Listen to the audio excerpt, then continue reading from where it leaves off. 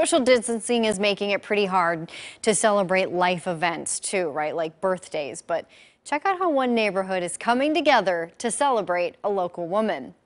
Today is Mary's 88th birthday, and the intent was for neighbors and even strangers to send cards or flowers, but those good intentions evolved into a car parade that went right past her home. Thanks to a post on Nextdoor, everybody met up and started the parade at 4.30 this afternoon.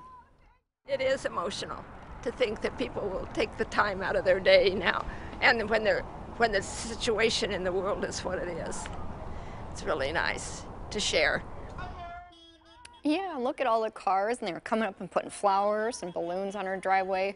We, of course, look at that. We, of course, certainly want to extend a very happy birthday to Mary, too. And if you ever seek kindness during crisis, please share it with us so we can share it with everybody.